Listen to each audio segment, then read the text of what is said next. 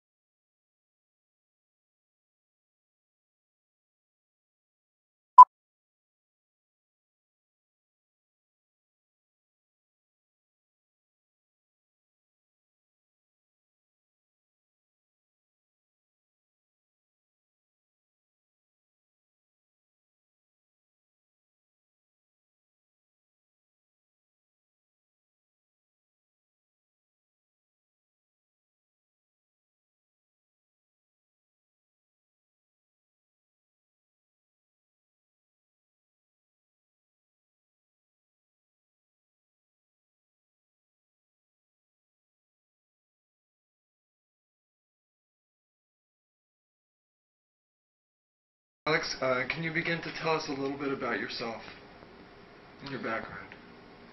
Um, well, uh, my background is varied. I've, I've, done, like many other people, done a lot of different things. Um, uh, I've had accounting practices. I've owned uh, commercial industrial businesses. Uh, um, currently, what I'm trying to do is uh, finish three books and um, lecturing uh, across uh, Southern California and the western states trying to get out information that I agreed to put out uh, regarding the Earth dilemma, uh, the situation that we all face here. Um, unfortunately, uh, and I apologize, I'm two years behind schedule. I was supposed to start lecturing uh, two years prior to this. I've really been out since October of 93. It'll be almost a year. And um, uh, that's currently what I'm trying to do. So a lot of my energy and focus has been going towards that. Now, you're in contact with the Andromedans. Who exactly are the Andromedans? Um, they're a particular race uh, that exists in the constellation of Andromeda. Um, they're just one of thousands that exist out there. Um, they are the particular races that I talk to uh, and have had contact with and have uh, given me and shared information with me are human. Um, they're white-skinned to light blue-skinned, anywhere from four foot tall to eight feet tall, and they are human in, in, in, every, in every way. Now, where, um, did, where did they originate, Alex? All human life originated in Lyra. Um, and when Lyra fell uh, during a war, uh, long before its uh, it, it, this one of the stars there exploded.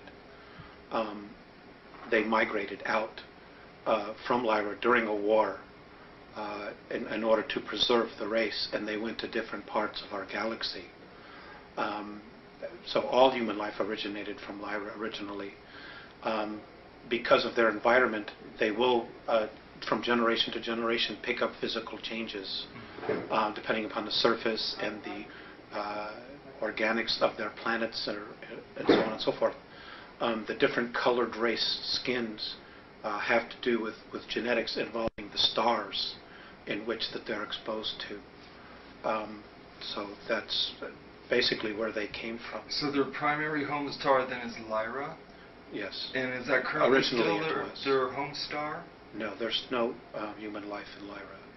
So now where do they exist now?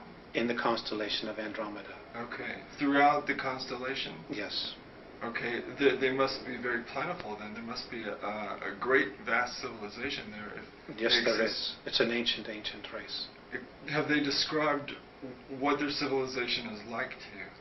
Yes, they have. And could you go into sure. some of the details that, that strike you the most about their civilization? Um, they're uh, essentially, a, a, no matter where they are, they're a, a one world government. Uh, uh, their society is would be approximately 4,700 years more advanced than ours on a spiritual level.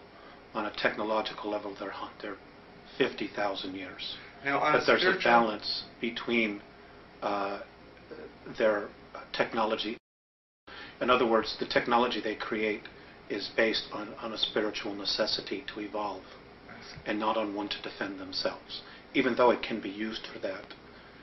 Now, when you say 4,700 years advanced spiritually, Yes. how do how do you measure spiritual advancement in years? I don't, I don't really know. That's, that's how, what they've, they've expressed to me. I see. Um, and they don't even use time uh, in, in their world. Uh, there's no such thing, really. Um, but they use those numbers to accommodate us so that we can use those as a point of reference. I see. Okay. Um, what do they uh, do? They call their world in, in their language. They don't, they don't speak. Everything is a symbol there. Uh, the whole race is telepathic. Um, and, and I want to uh, back up just a little bit. There are 28 different races there. Not all are human. Um, many are, are dimensional, plasmic, organic, uh, that were there before the human aspect of the Andromedans themselves, or the Lyrans got there and became Andromedans. Um, there's a lot of life on the different dimensional levels that if we were to go to fifth density, um, we would be physical on fifth density, even though here we're on third density, our perspective of them is being spirit. So, you know, on each of the different dimensions, there is an abundance of life that is completely different than how we would perceive it.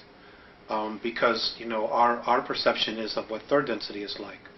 Even fourth density is very different, but we will have physical form in fourth density. Now, is third density the lowest density, or are there others lower?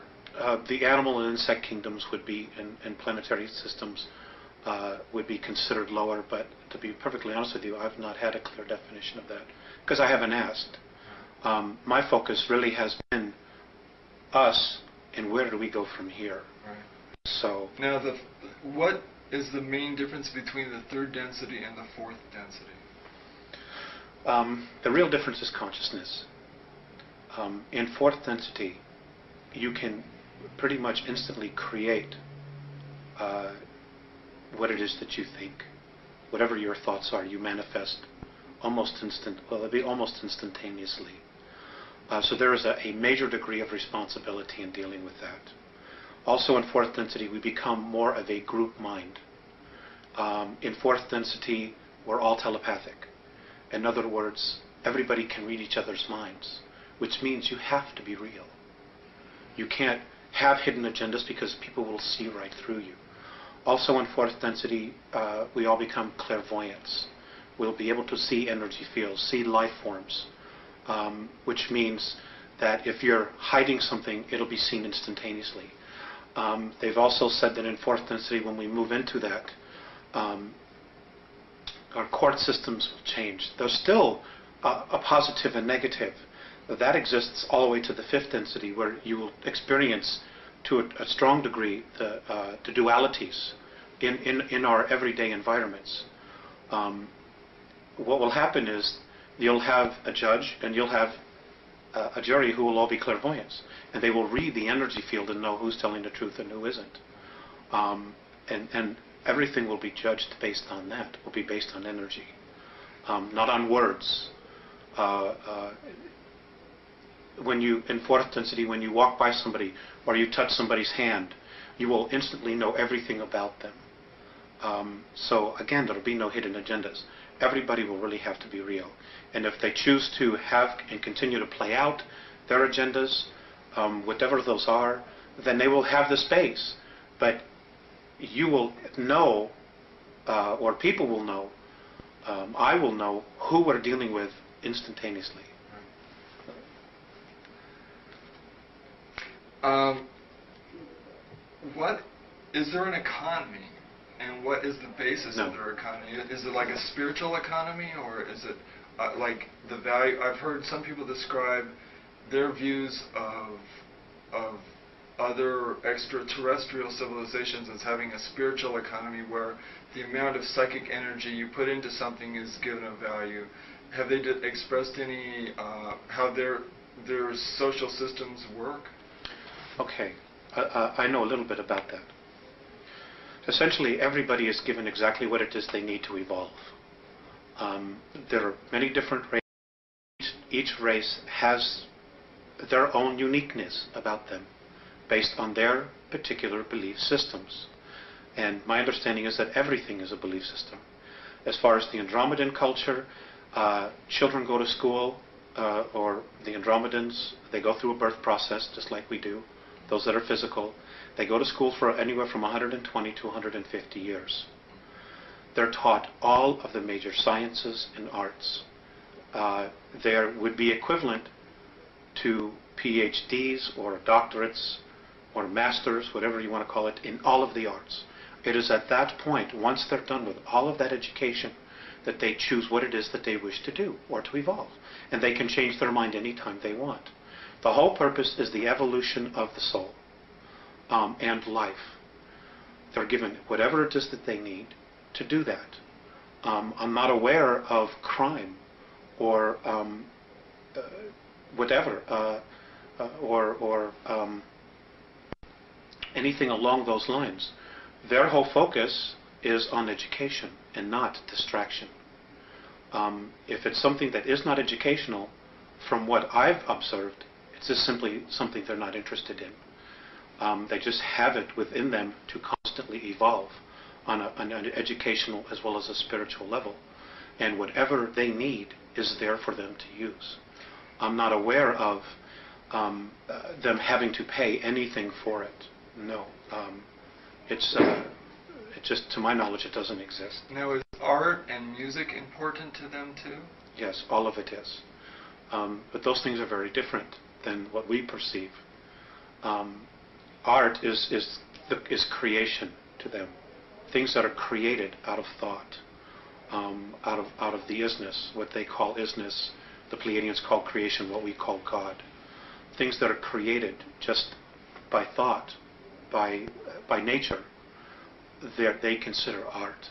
They use extensively holographic uh, technology.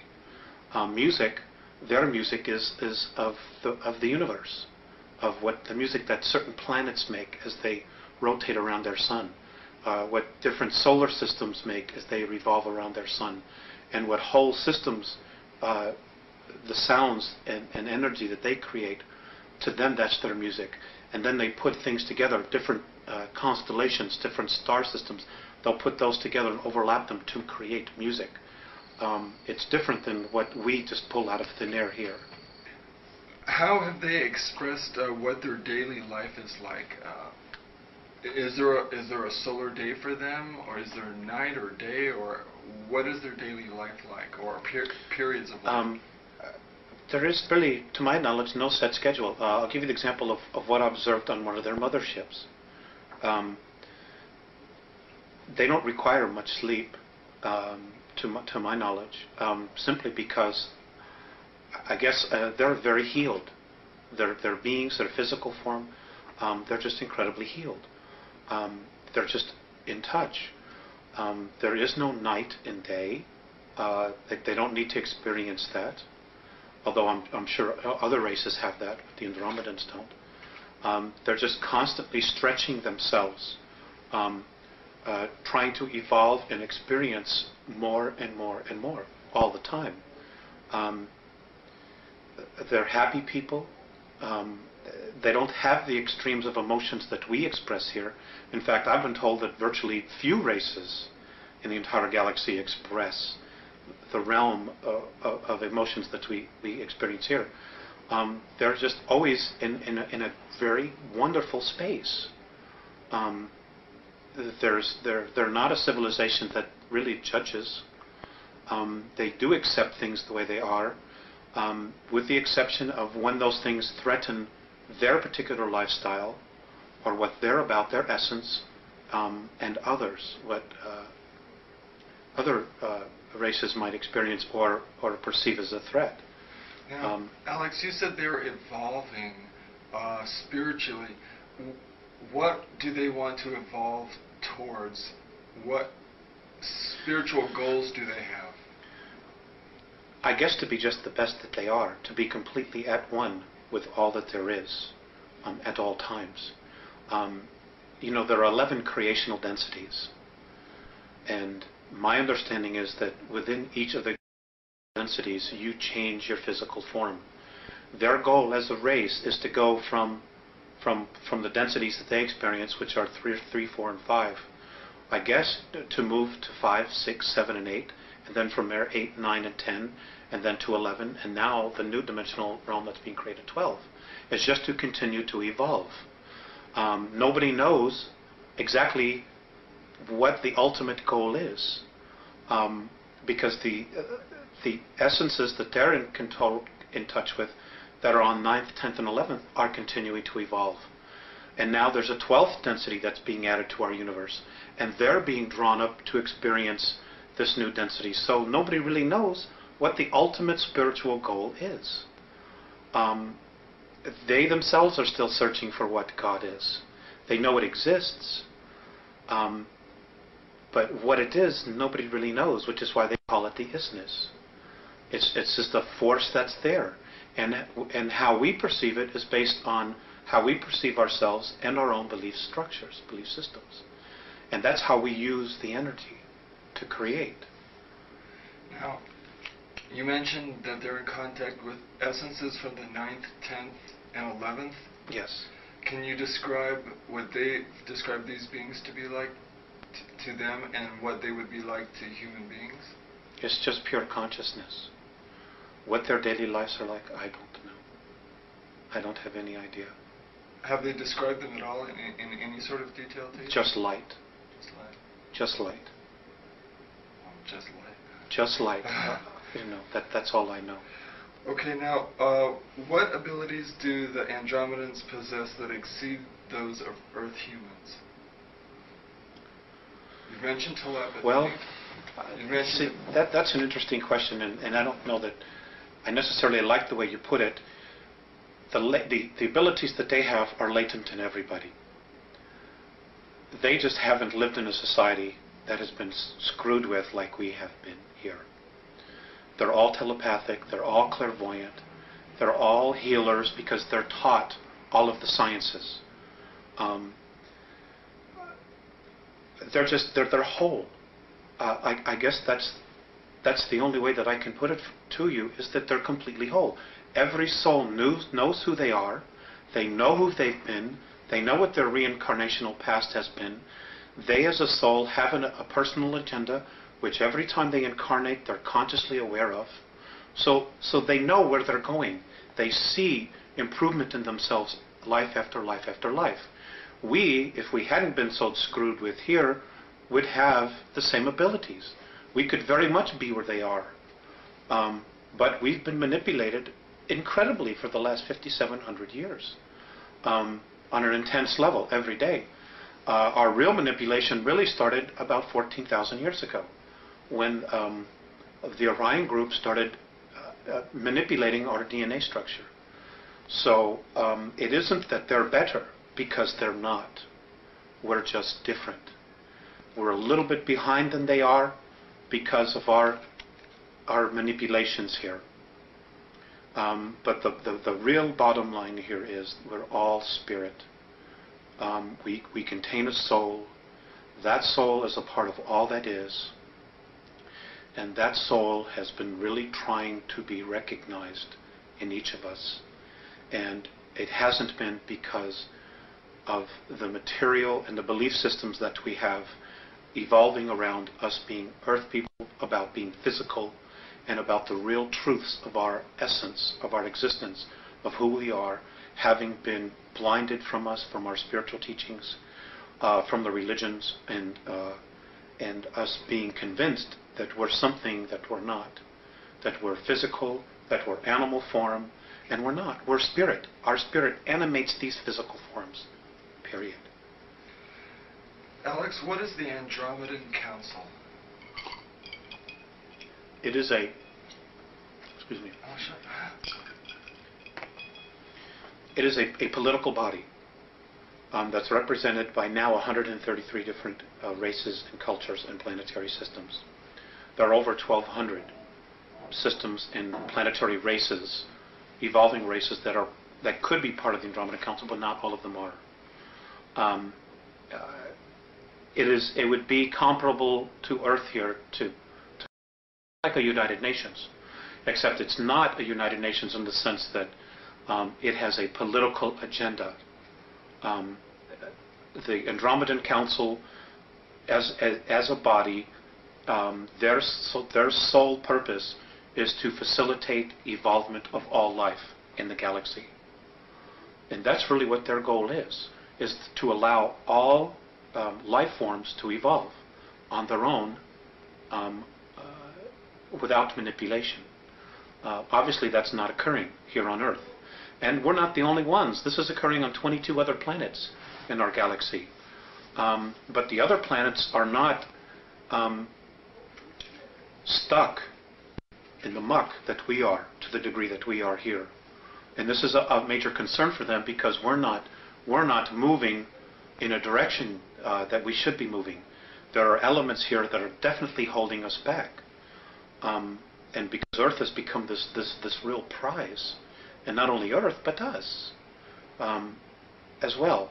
So I'm, I'm getting off a little bit. Um, I want to stay with your questions. So its overall goals then are to elevate the spirituality of all life forms in their own particular ways. Evolutionary uh, ways, right? That they evolve according to the degree of their consciousness.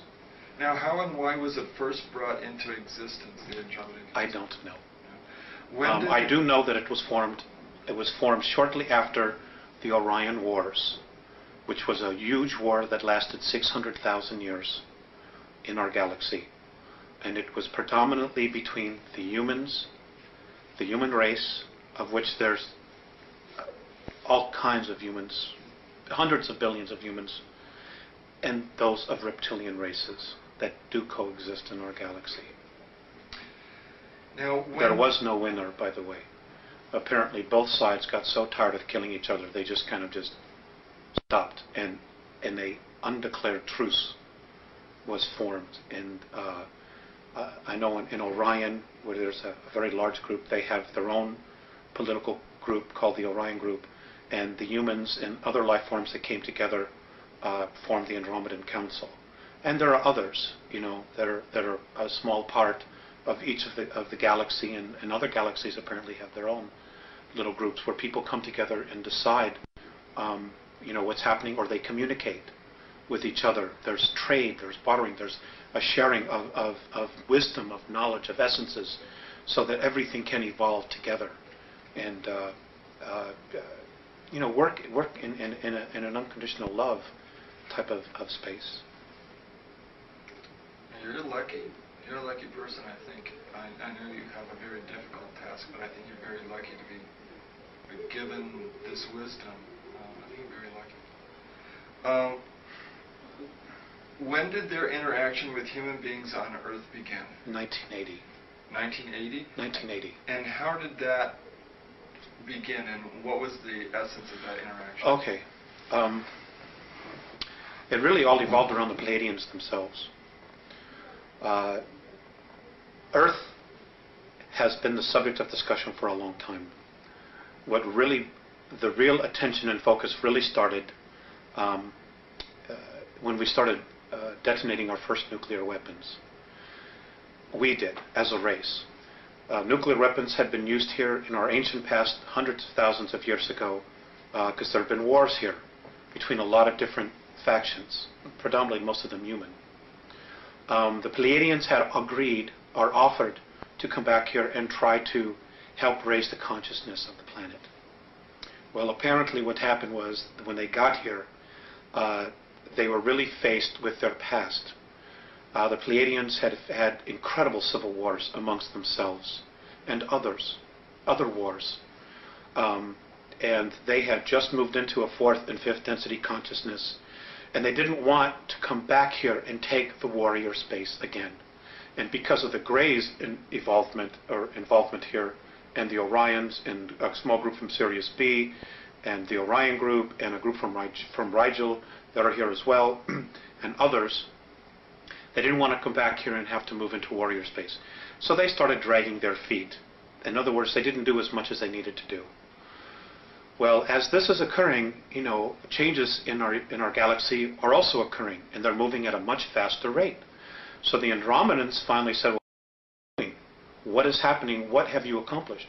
And the Pleiadians basically said, you know, we're having our own conflicts dealing with this because the Pleiadians themselves have a tremendous amount of karma with, with our solar system, you know, with Mars and, and, and Earth. They simply just weren't as motivated as they should be or could have been to start making the changes here. They also had made some communications with the Earth governments that didn't go very well at all. So basically, they said, well, we don't know what to do. So the Andromedans themselves said, okay, well, we'll, we'll, we'll do it. We'll, we'll take this because it is important for the whole. We'll make an effort. Now, the Andromedans were probably the better choice because they don't have any karmic ties to us. So they're, they're completely um, neutral, and they're probably better observers as well because of their neutrality. So they've basically been taking over. And what they did was they got involved in 1980. Uh, they're working with the Pleiadians, with the Sirians. Um, uh, they have... Uh, Which a- group of Sirians? uh, from Sirius A. Sirius A. Um, so what they're doing here now is they're trying to raise the consciousness. They came back in time to 1964 to contact me. I'm not the only one. There are others. There are also other people who are who are mediums or, or channels or whatever word you want to add to it, um, who are also getting information on a spiritual level. Arcturians are also involved, and the whole point is is they want our part of the galaxy to evolve. And what's holding it back is our solar system. And what's holding back our solar system is the consciousness of humanity on the Earth. The Earth herself, as an entity, spiritual entity, wants to move into, into fourth and fifth density. But she can't yet because of, of the consciousness of humanity. And in order for her to do it without humanity, one of two things have to happen. Humanity either has to shape up, grow up, as the Andromedans say, or humanity has to be removed and get out of the way. Cleansed or... Exactly. Uh, whatever term you want to use. Um, but those options don't necessarily involve us using our free will. So that's that's the dilemma that we have. It's like uh, we we are so so entrenched in our belief systems that the reality of our belief systems is being chipped away daily, you know, to what we think is real, and uh, an overlapping degree of thoughts and energy are being introduced that hopefully will open our perspective, enough people's perspective, to the point where we can experience a real leap in consciousness here. And we have to do this quickly. We have to do this by 2001 um, in Any order to really particular month? uh, between July and August. And what's happening? That's the probability. What's happening July, August 2001? Well, basically nothing, but you know, we're creating our future. Much of our, our future, that our belief systems, is being focused on the book of Revelations, on other prophetic disasters that are to occur. So you're talking about self-fulfilling prophecy? Right, we're literally going to create it. We're literally going to create our own demise because we're buying into belief systems that say we ourselves are not mature enough or grown up enough to take care of our own selves. So we need somebody to come in here and take care of us. And that's an absolute recipe for disaster.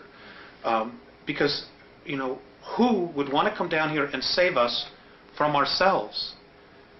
Because then they're going to have to tell us what it is that we're going to have to do we're not taking responsibility for ourselves. Um, you know, the Andromedans say that, um, you know, the divine plan is one of freedom.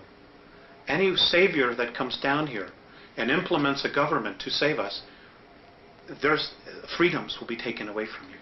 So that whole system of belief was part of the system of control that was set up in the first place. That's right. It's a lot of it has been uh, Gray and Orion manipulations. Okay. And if you have time travel, it's very easy to go back in time and manipulate the future. It's very easy. And um, this they've done in an incredible way. You know, they haven't been here thousands of years like our government says. The Greys have really only been here 59 years. Travel capabilities, they've gone back in time and they've been able to manipulate series of hist- historical events to bring us to where we are now, to where we are asking for somebody to come in and save us. And they're already here.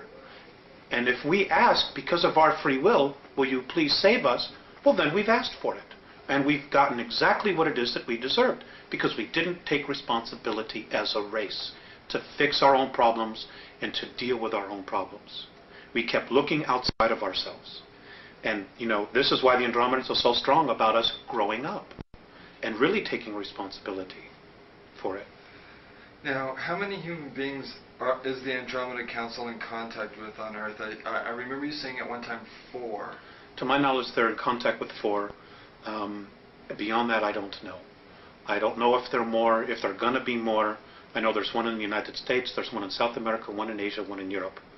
Um, but there are other groups that are here, you know, over 170, who may also, on some level, be talking to people and communicating, whether it's physical or, or um, telepathic or um, uh, through mediumship, you know, dealing with the different spiritual levels. Um, th- there's a lot of information that's being sent down here. Are they finding it's, it's effective? Is it working? To a degree, it's not working as quickly as they want, simply because most people are incredibly apathetic. Uh, they're, they're stuck in their nine to five. I have to make my mortgage payment. My kids got to get to school in the morning, and I don't give a damn about anything else. And unfortunately, that isn't going to work. It isn't going to save you. It isn't going to protect you. There's so much more going on here, you know, and we are just one small part of this whole picture that's going on, and we have to wake up. Period. Now, one of your contacts is a 4 foot 11 inch light blue skinned being called Theseus. That's correct. Please describe his or her personality in detail. Vissaeus, well, he's very serious. He's very benevolent. He's, he's considered a sage in, in his world. Um, he's an incredible healer. He has perspectives on things that are just far beyond any anything anyone that I know. Um, he's very direct. He's very humble. He's very soft. Um, uh, he's he's uh, very direct. Um, and, and when he moves into a room, like when I've walked with him or walked with the others, when we walk into rooms or different areas of motherships and, and, and the ships, energy changes. People, of course, they're very in touch with energy themselves. They instantly turn and they acknowledge him, and they bow.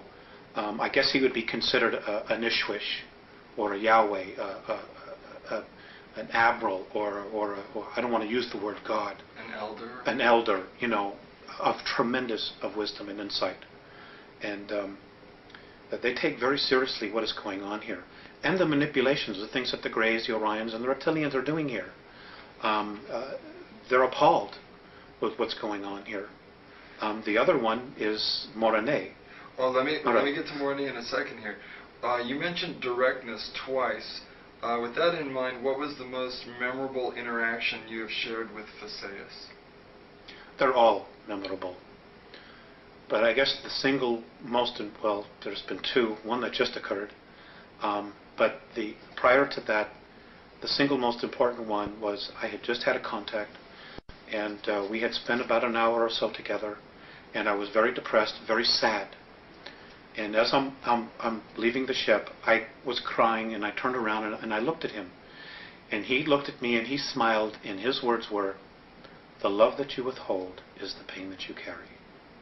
That's been the most memorable one, only because of, of what that particular statement entails. Um, when we leave our physical form and you know what many of the uh, Catholicisms teach, you know, you're judged by God. It just simply isn't true. We judge ourselves. And, I, and what I read in that statement is that when we cross over, we look at the places in our life where we withheld love, that we maybe didn't give enough. And um, we judge ourselves on that. So uh, that's, that's been the most profound one for me. And Moraney, he's a seven and a half Snow White skinned hairless being. Uh-huh. Also- Uh, he, he's light blue as well. Oh, light blue. I'm sorry. He's light blue. Uh, can you describe his or her? Oh, he. Can you describe his personality then in detail? He's serious, but he also has a really good sense of humor. Um, uh, he can snap me out of out of my depressions uh, very quickly, and he has just a different perspective on, on uh, of looking at things. Um, he he also um, tends to be um, uh, part of their their exploratory team.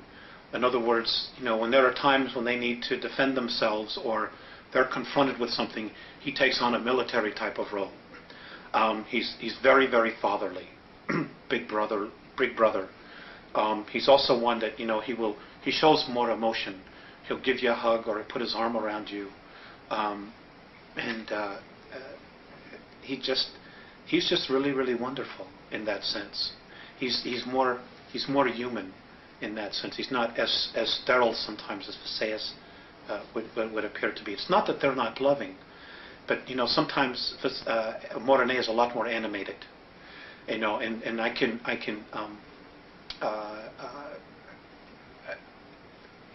Relate. relate more to him, and I think he can relate more to the emotions that we experience here, the the tremendous uh, uh, extremes that we experience. I think he's a little bit more in touch with that, you know, than maybe, maybe sometimes Vissaeus appears to be. Now let me ask you, uh, what was the most memorable experience you've had with Moraney?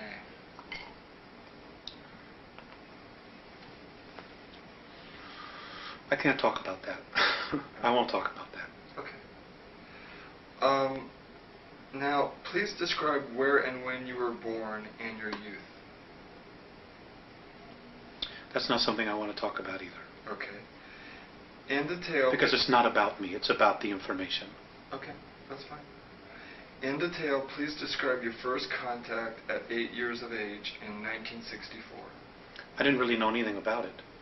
Um, uh, I just knew that I supposedly had fallen asleep, and when I woke up, it was evening. Everybody had been looking for me, and I wasn't where I was.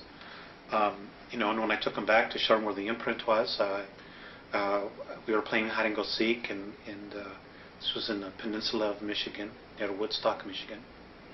And people had been looking for me, and I wasn't there, and I got a spanking, you know, because I wasn't where I was supposed to be, and I'd been missing for hours.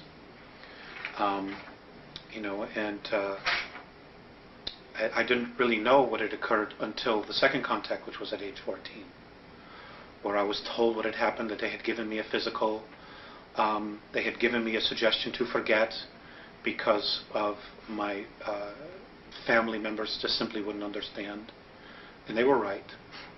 They were Why- very right about Why that. was the uh, why was the physical necessary?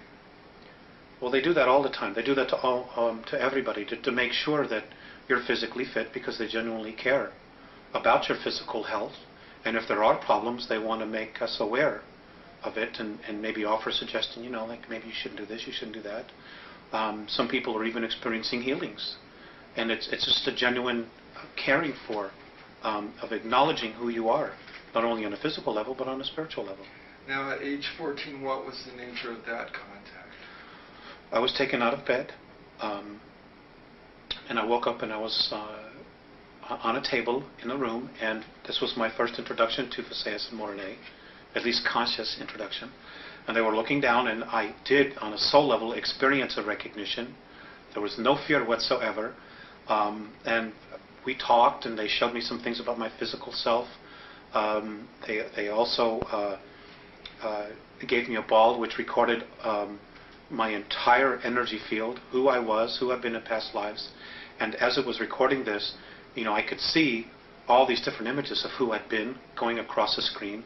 And they, they saved this, and um, this was put into the computer so that they would contact me and could contact me no matter where they were at any particular time that they need to. Um, I was asked if I wanted to help them.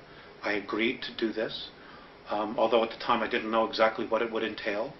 I had uh, at any time the choice to say no more, uh, but it's been an incredible experience for me. Uh, Alex, um, you, uh, I presume, if you had soul recognition of them, that you had had previous incarnations with them. This is true. Do you want to talk at all about any of that? No. Okay. No. Everybody on the earth is from someplace else. None of us were born and hatched here. None of us as souls were created here. We've all come, we all come from another time and place. My understanding is that all of the conscious spirit that's in this universe came through different black holes from other universes in time and space, which we simply aren't privy to. Um, so we we we're, we're ancient. There's no age to us. We, we weren't created with the universe. We came through another universe, through the black holes, um, to this place that we now call our universe, to continue to evolve. That's everyone, virtually everyone. Uh, you know, that contact at age 14, was that contact um, time travel in any way by the Andromedans to prepare you psychologically for your future contacts? Yes, they were all, they all, all, all the contacts where they had to come back, because they, they came here in 1980. Right. So they had to go back in time. And that's what they're, they've done with, with a lot of people. Uh, um, even the Pleiadians, to some degree, I understand, have done that, where they go back and they start preparing people early for, for uh, responsibilities they will have in the future, as opposed to hitting them all at once and saying, here you go, you know, just dumping it on your lap and you're saying, oh my God, what is this? You know, my whole reality. So there are increments of preparation that have occurred and continue to occur. And, and um, this is occurring with humanity on a whole in, in, in, similar fashion, um, where information is being disseminated in little bits and pieces of ground roots. People are starting to come together and really sensing change. And they're, they're, they're slowly but surely being brought to a level that when the real truth hits them, they'll be able to experience it, handle it, and, and um, assimilate it uh, for our good, you know. now, in 1985, your contacts with Vissaeus and Moraney began to become more frequent. Um, please describe the nature of your contacts and the content of your discussions and the ways in which you communicate with them. We don't have enough time for that.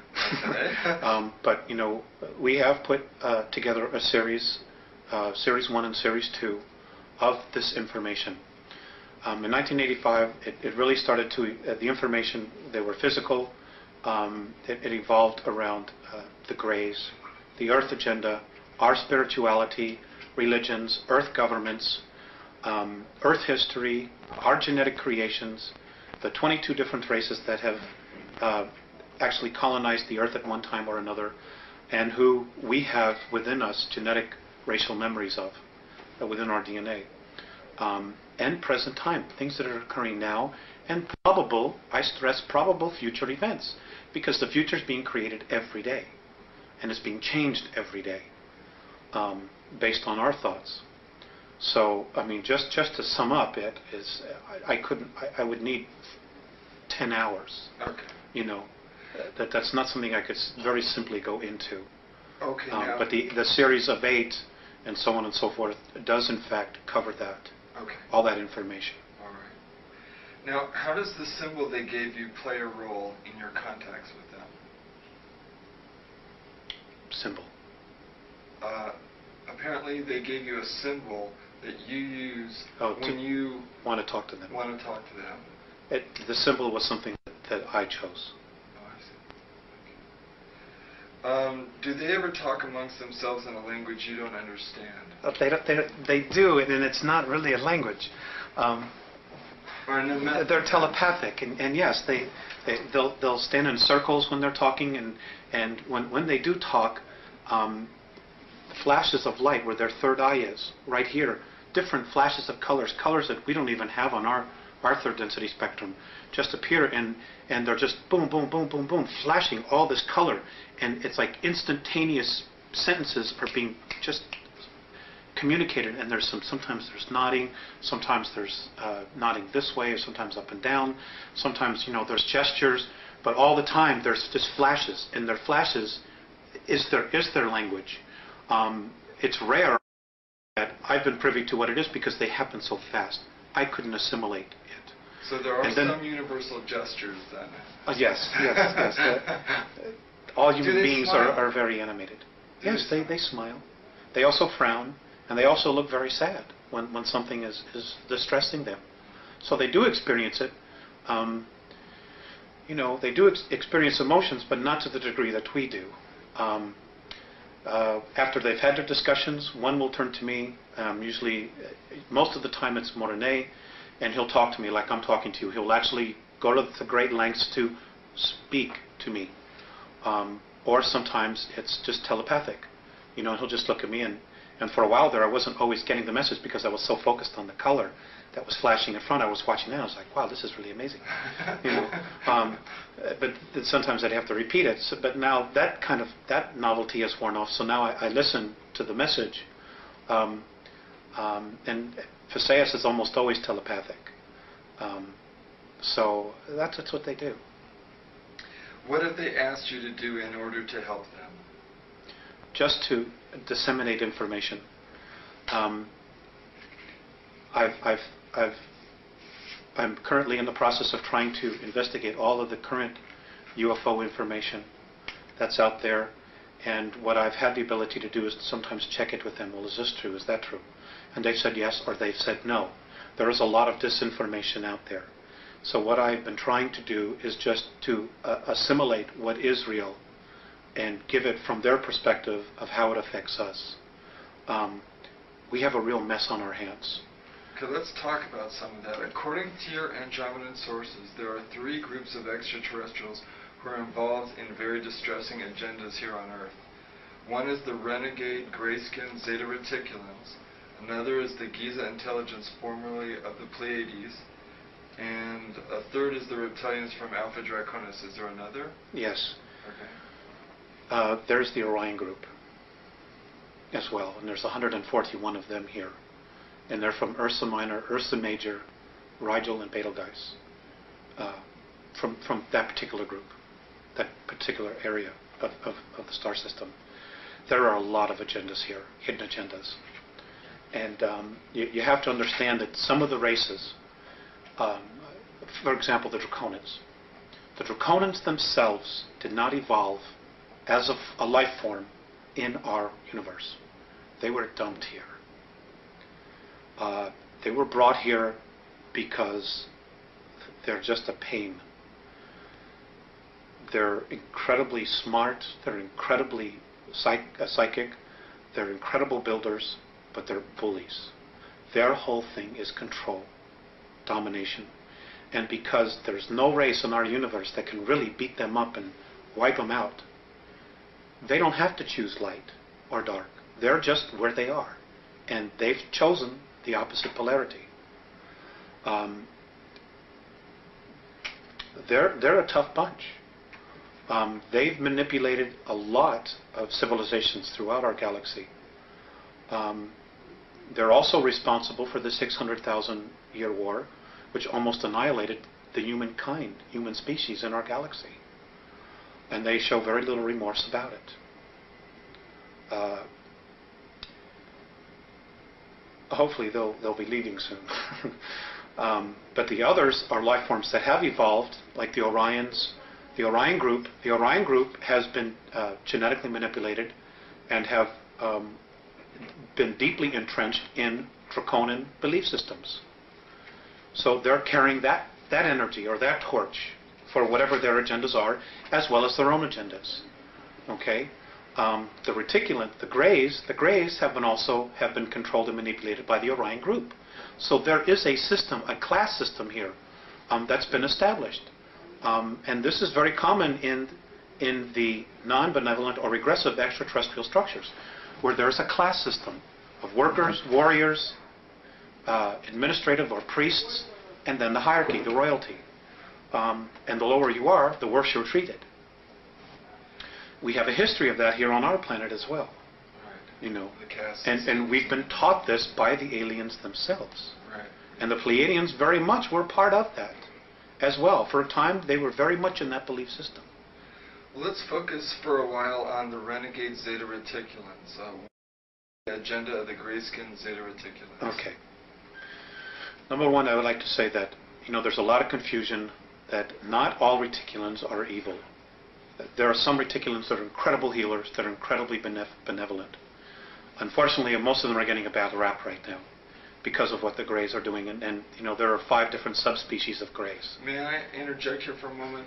I I've heard the phrase long-nosed gray um, describing their physical Those are not those are not the benevolent reticulans. Okay. The benevolent reticulans look like children. So the the non-benevolent benevolent ones are the long-nosed That's correct. that's what I thought. That's correct. okay. Um, and you know, there's there's a lot of information uh, that's being. Some people are experiencing real benevolent experiences with them, or they're told that they're experiencing benevolent, when in fact they really haven't. They just maybe haven't been regressed or, or taken deeply into their subconscious to know what is happening. Um, they're they're incredible masters of mind manipulation. But anyway, their race is dying. They have been so genetically altered by the Orion group that they cannot reproduce. So they were told by the Orion group to come down in here, to come in here, this is how it's been related to me, to come in here and set the stage to break down the social structures so that when the Orion group and the Draconans come back, there are two classes, royalty and workers, which is exactly what they're doing. You can see that agenda happening right in the United Exactly. States since the beginning of the Well, Reagan administration. This is, this is, least. this is where the focus has been, has been on the United States, singly. And there's been a reason for that, which we'll cover in just a little bit, but let me get my thoughts out here. Um, which is exactly what the Greys have been told to do. And they're doing it. In the meantime, they themselves have their own agenda. They see us, because of our genetic stock, of having the the DNA of 22 different races and the racial memories, of trying to breed, to cross the, the, uh, the genetic bridge so that they as a race can have enough genetic stock to continue to propagate their race, which according to the Andromedans, they're destined for extinction. What they're doing is not going to have any long-term effects to propagate their race. So they're desperately trying to do what it is that they're trying to do before all the other two groups get here.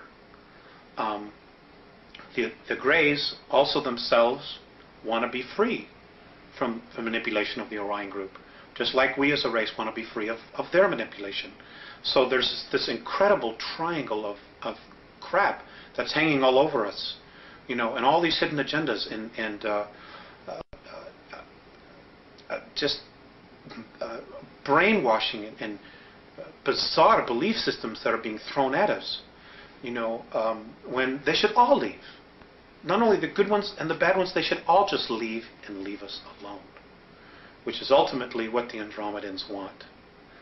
Um, but unfortunately, that isn't going to happen right now, uh, not until some changes occur. Um, we have to raise, so, begin to raise our consciousness. Right, we need to. Right. And the first thing we need to do is we need to stop warring with each other. We need to come together as a race, and no matter what happens, we need to stop all of the political garbage and say, look, when it comes down to the bottom line, all we have is each other as a race. Period. And this is our planet, this is our home, and there's enough of us that are polluting the planet that we need to stop. Because if we don't stop polluting the planet, Rick, we're not going to have a place to live. Period. Is there an Earth quarantine that the renegade Zeta Reticulans violated? Yes. And, and what was that quarantine? The quarantine was they were supposed to, well, it's the same quarantine that evolves, that, that any other evolving planet has. No intervention with an evolving race. But because of our genetic stock, the Greys did it.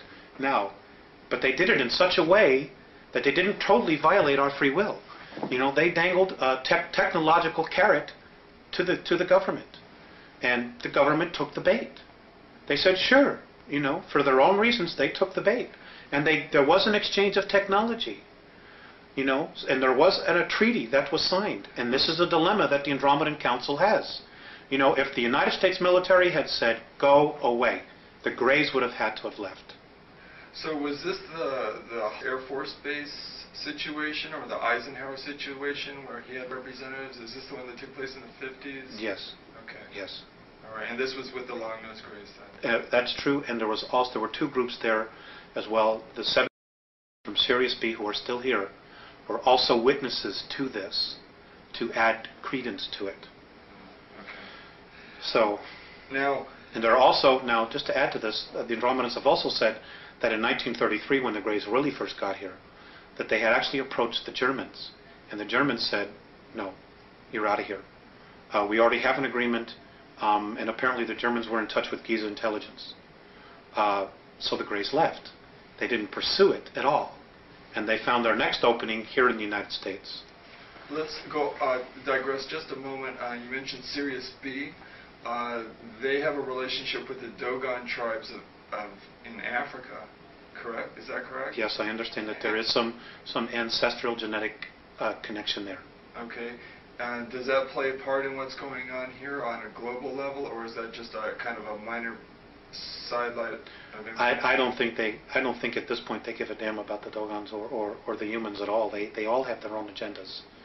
Um, and, and the fact that the way we're being treated, um, and the fact that there's like no support, supportal government coming, supportal information coming out of our government, or any truth that they even want to discuss, like just coming to the people and saying, look, folks, we screwed up.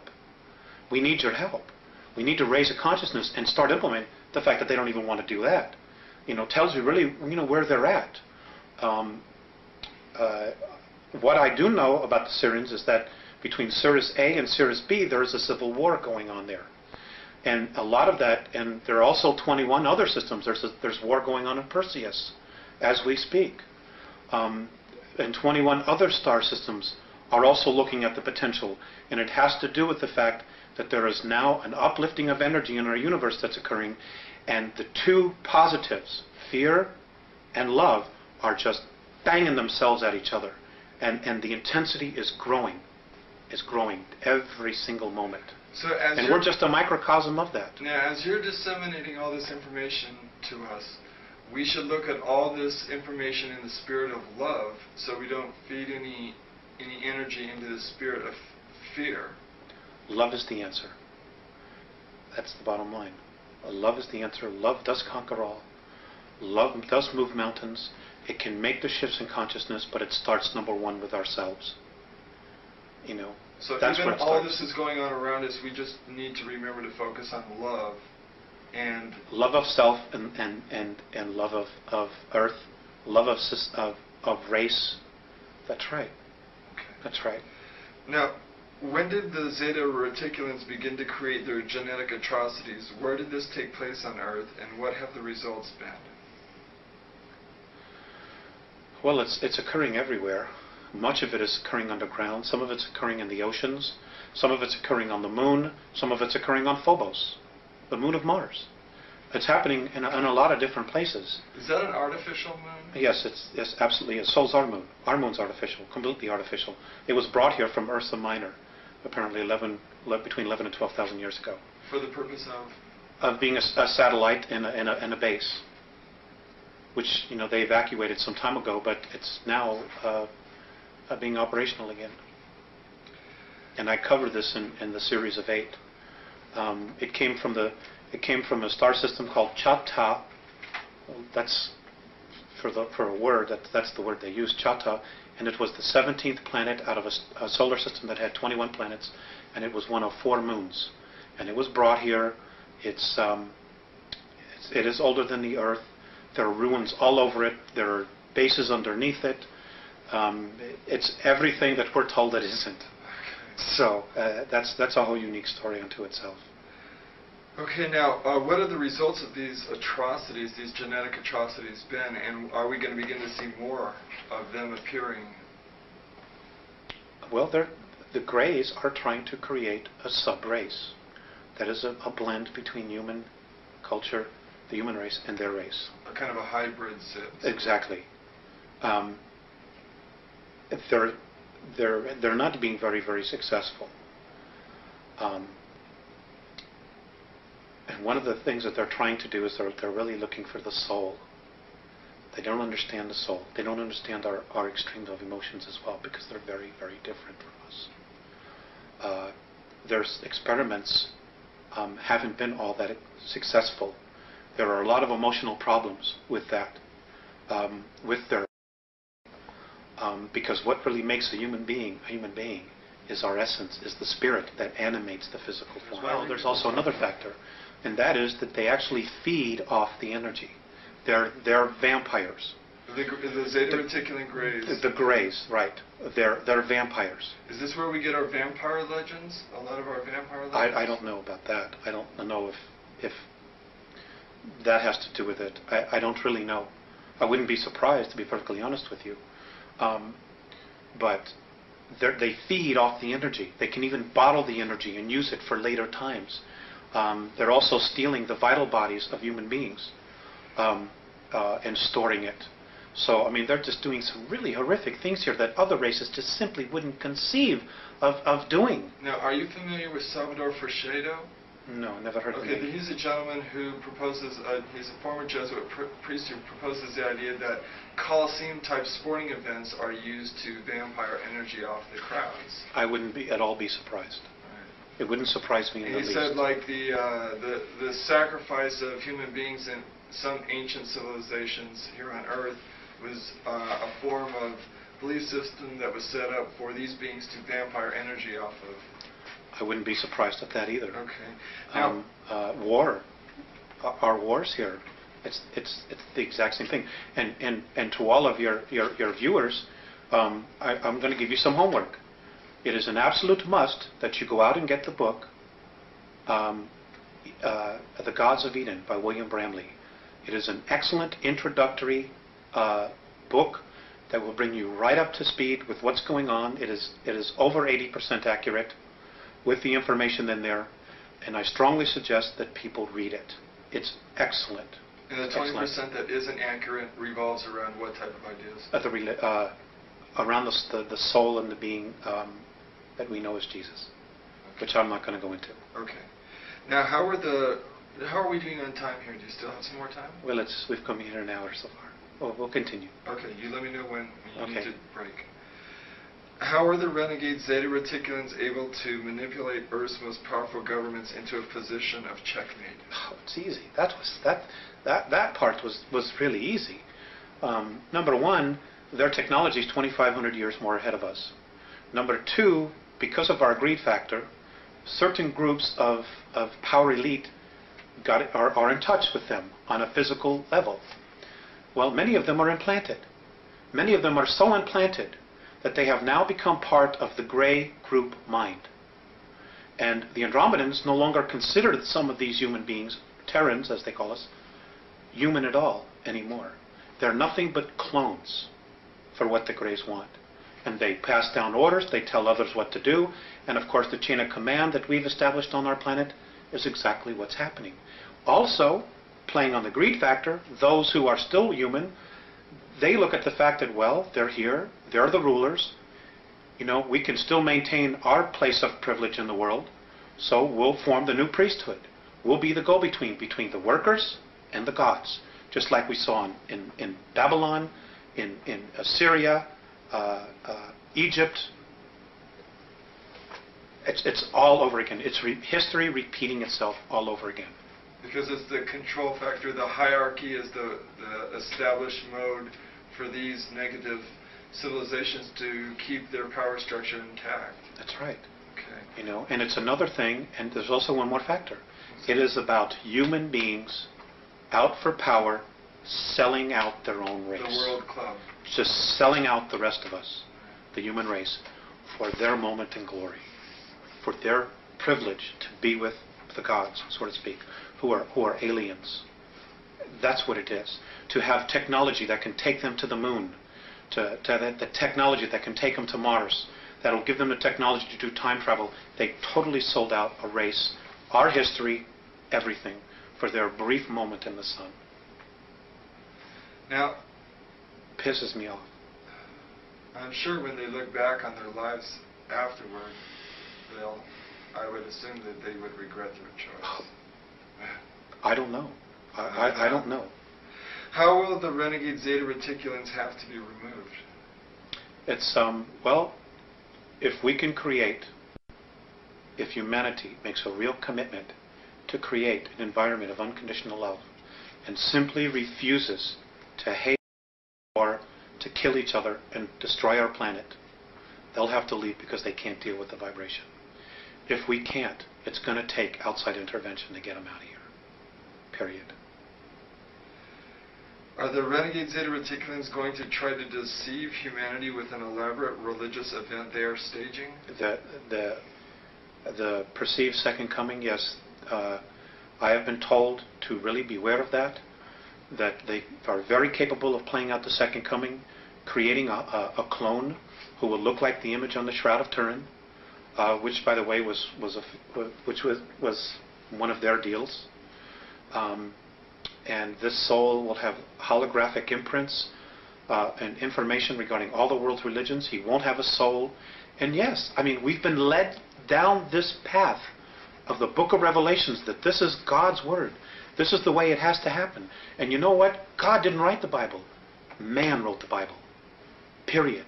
ETs didn't write the Bible, but some ETs did tell those souls, those men, what to write.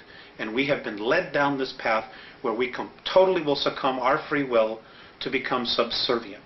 And I'm not here to offend anybody, but really think about it.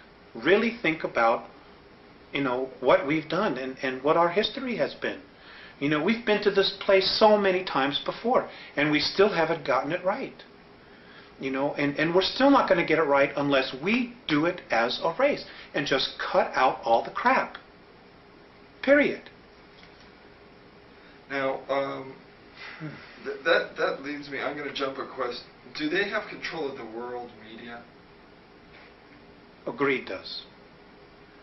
Greed does. But I, a lot of the I don't know if it's them I'm themselves. seeing- Well, that the is- programming is being introduced, and it is mankind that is introducing it to the So it's the it's the people that are selling out. That's that's it. That's it's the new priesthood. Okay. You know, that's where the responsibility lies. What would be the outcome if human beings believe that uh, re- renegade Zeta Reticulans were the hope of mankind? We would know a tyranny and an enslavement that is far beyond anything we could even imagine. To put it just quite bluntly, we'll get. um, we'll never be free again. We'll never be free again. We will be stuck uh, until we're rescued by an outside force. We ourselves will not be able to break free. That's the bottom line. And right now, we have an opportunity. There is a window of time for us to break free, to do it ourselves, to really make this incredible leap ourselves, so that we can have the benefit of taking responsibility for it. Now, in that passion that you talk with right there, that passion that we have, if we want to break free, should be manifested into the spirit of love. Yeah, love, that's the bottom line. It's brotherhood. It's knowing that, hey, you know, we're a race. It doesn't matter the color of our skin. We are a race. And we're being messed with in, in a big way. We're being manipulated in an incredibly aud- uh, Audacious. audacious way. Uh, uh, uh, They're just mocking how stupid we are when we're really not stupid. You know, but nobody will tell the truth. Nobody will come out and say, "Hey, you know, this none of this is right. We would have never meant to live this way." And they had no right to come down here and, and mess with us the way they've done that. You know, and and the real strength in us, in our, our own permanent evolvement as a race, will come from us standing up, taking a stand and saying, you know what? No way. We're not going to do this. We're not going to destroy ourselves for your enjoyment so you can feed off of us. You know, you had no right to, to, us- to, to manipulate our governments, you know, uh, to create wars. None of this was right. And that's it. We're going, we need to stand up as a race, exercise our free will, and say, you know what? We don't want to live this way anymore. We want to create a real future where our kids will have an opportunity to be whatever they want, to live in an environment that's, that's, that's clean, that's free, where they can have water to drink, where they can go out and eat fruit, where they can play in the dirt without getting radioactively toxic. All of this So, stuff that we're doing to ourselves. so the people with weapons, uh, the police, the military people, these people need to be persuaded and persuade them themselves that they can lay down their weapons, that they don't need to use them against other human beings, that they can love other human beings, interact with, with them with, without a violent or power control uh, type of situation going on. Uh, I'm not saying that there aren't some human beings here that definitely don't have some serious problems. I'm not saying that at all. There are some who do. But the bottom line is, when you, when you look at the whole picture and you go up the ladder, okay, we are not the enemy. The enemy isn't human at all. But it's pushing all our buttons so that we're so busy looking at each other and so, so um, uh, neurotic about each other that we're not looking at the real, the real reality here, the real cause, which is another race or races that are here who are totally playing games with us, feeding off our energy, and hoping that we destroy ourselves so that they can keep the planet And themselves. really, let's let's say who it is again. It's the Orion group. It's the Orion Group. It's a group that is on its way here and now from Alpha Draconis. They're the real culprits behind this whole deal. Um, Alpha and- and Draconis or, or Orion or both those? Alpha Draconis, they're the real culprits behind this whole thing. Above The Orion, above the Orion group. Yes, Okay. yes. So then the there's hierarchy- Orion. Then there's Orion, the Orion Group. Then you've got uh, the Greys. And where did the the Giza intelligence fit in here? They were just a, a group that were totally independent, that came in and did their own thing. Uh, they were perceived as gods, and they played the role out. And they got stuck in it. You know, they got stuck in the ego part of it. We're gods, we can do this, we have all this technology, and they just played it out for all that it was worth. Okay. You know, Uh, and but be honest with you, at this point, they're not really much of a factor anymore. You know, Giza intelligence, they're not much of a factor at all anymore. what should a human being do if they encounter a renegade Zeta Reticulan? What would your advice be? stand in their truth. If you can't run, stand in your truth and just look 'em- look at them. If they try to project their head in, their thoughts into your head, you just stand firm with who you are and you say, no, you are not coming into my head. You are not taking me over and you are not, not going to violate my free will. I don't give a damn who you are. Leave me alone. Period. Because if it's a benevolent, they will not try to do it. They will not try to take you over. They will not try to, to put crap into your head so they can feed off of your fear. Period. All right. Excellent. Okay, I'm going to skip the Giza intelligence for the moment then, and we'll go to the Alpha Draconis. Can we, can we take a short time Oh, out? definitely. Thank you. You know, Rick, I- there- there's something else I want to I want to stress here, and that is, and this is something that, that the Andromedans have really stressed. There is no race any better than us. Just because they're different, just because they're more evolved, doesn't mean that they're better. We are equal. We're just not maybe as aware as they are. But that doesn't mean that any race is any better or any less. In fact, we're all equal. So we should just not a- worship anybody. Hell, no, absolutely not. That's how we got into this mess in the first place. Um, that, that, that- absolutely. If you want to worship somebody, worship the God within you. That's it. Worship no one else. And if you're going to have a tyrant in your life, let it be that part of you that's critical of you.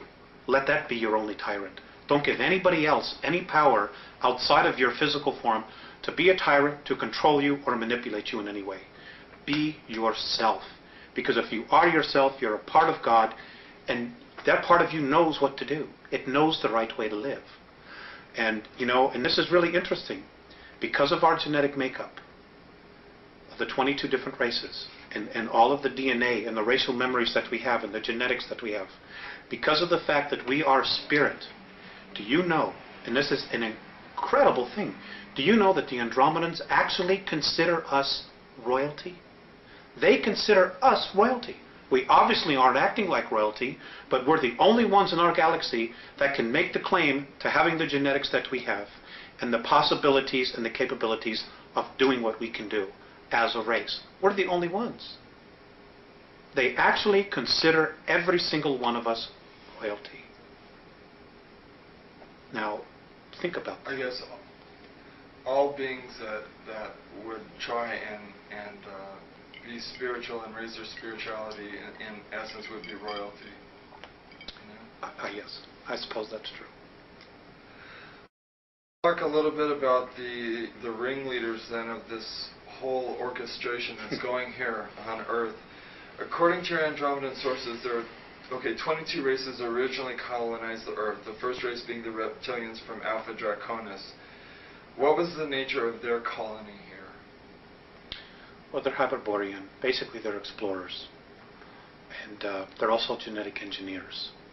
They would just colonize. They would take samples. They would hang a flag and say, this belongs to us, just like we did with the moon. You know, but we, we weren't the first ones there.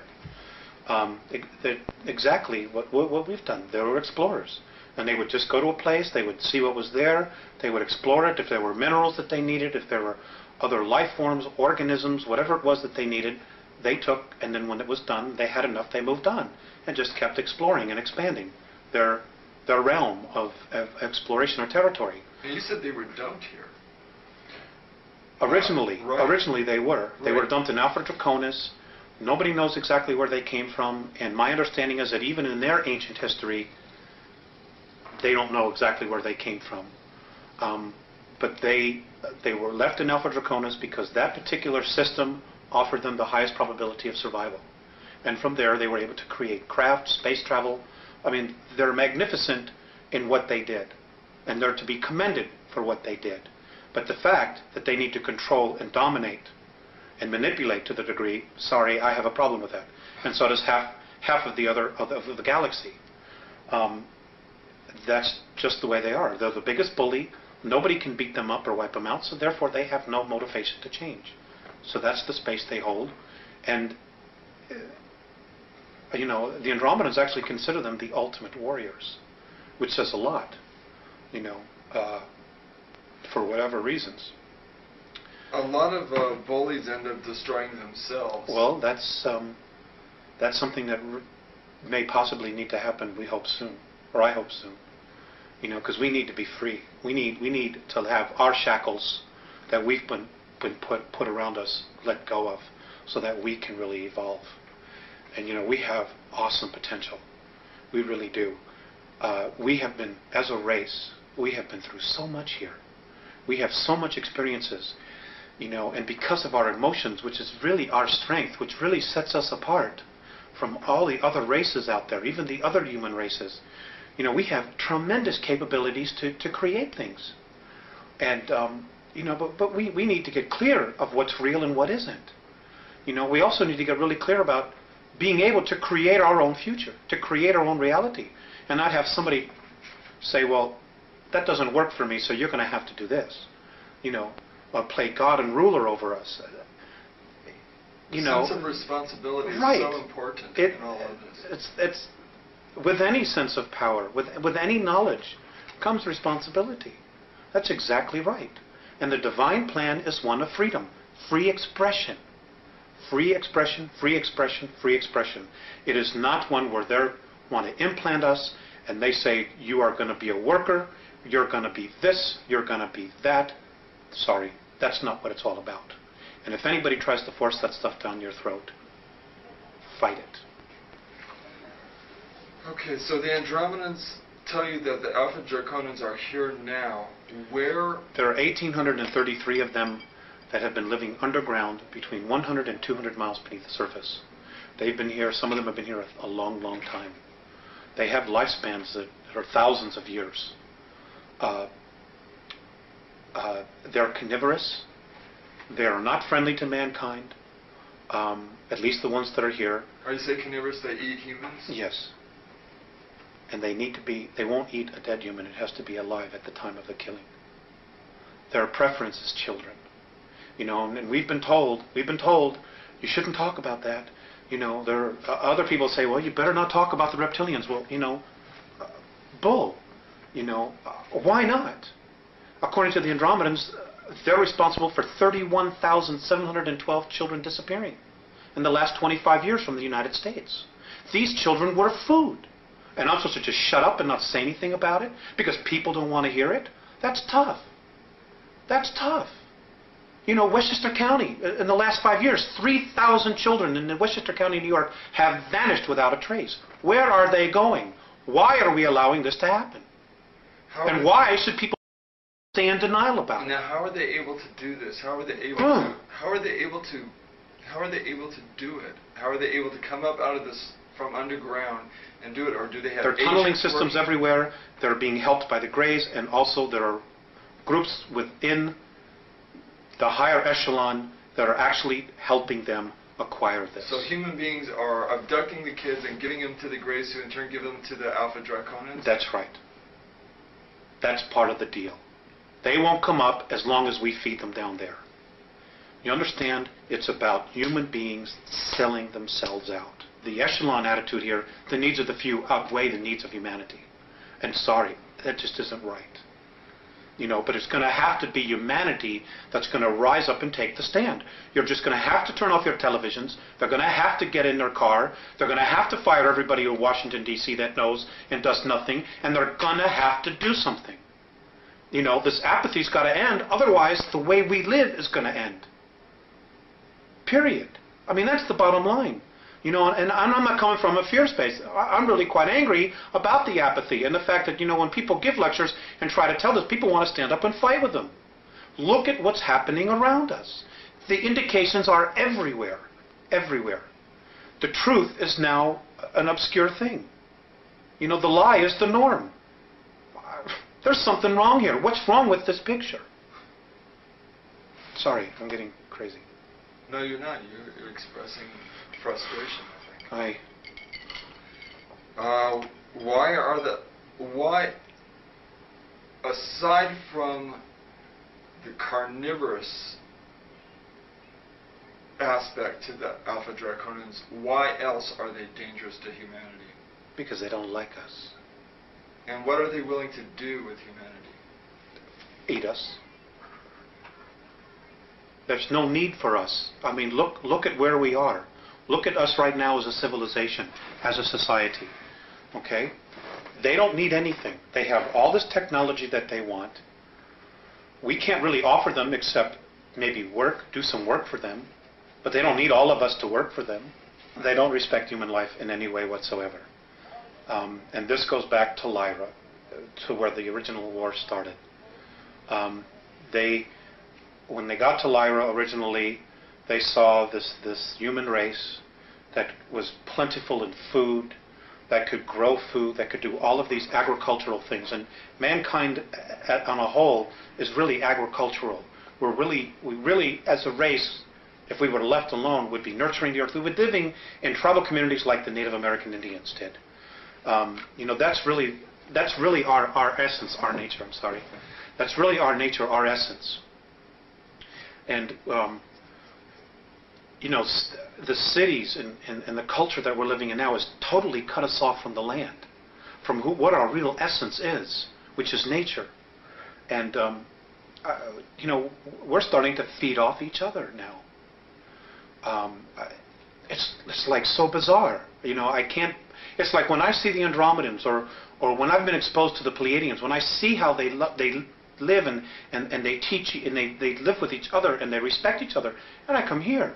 It's like, you know, it reminds me of that sentence that, that Abraham Lincoln, that, that quote that Abraham Lincoln once said. You know, when I'm, when I'm, if you are above the earth looking down, you could be an atheist. But when I'm on the earth looking up and seeing the heavens, I, I know there's a God. It's like the duality. And I think enough of us, more, more of us, really needs, need to start taking the perspective that what we're doing here isn't right. Um, you know, we, we, we need to get in touch with, with what's out there, um, with just the, the whole idea that, God, how did we get here? What makes me be here?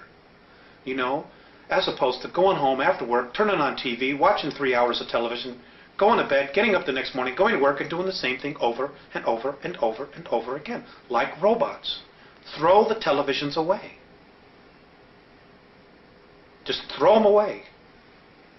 Okay uh, what are the physical characteristics of the alpha draconans what do they look like. Do we? I don't have that. Maybe it's in the car. um, they're ugly. I mean, they think we're ugly too. You know, I guess it's all a, a matter of perspective and belief system. In my belief system, and I'm only taking responsibility for me, they're ugly. They're anywhere from 7 to 22 feet tall. They can weigh up to 1,800 pounds. They're reptilian. The, uh, the longer, the, the ones that have stubby tails, if you see one that has no tail, he's, he's of the warrior class or, or the worker class. The longer the tail, the higher their rank. When you see one with long tails, with, with winged appendages, he's considered royalty. Whenever you see one, you ought to just run like hell. You shouldn't approach it. You shouldn't provoke it.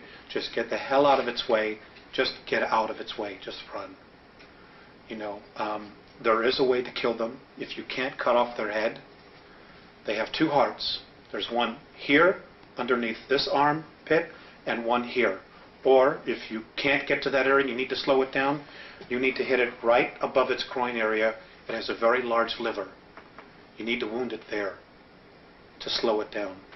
Um, it is not something where man-to-man combat you're going to be able to, to deal with because they apparently have the strength of, of 12, 15 men. They're incredibly quick. They're incredibly psychic. They know what you're going to do before you do it. Um, and, and, you know, if they get here in mass, we got real problems. Real problems. Uh, what do the Andromedans advise human beings to do if they encounter an Alpha Draconin?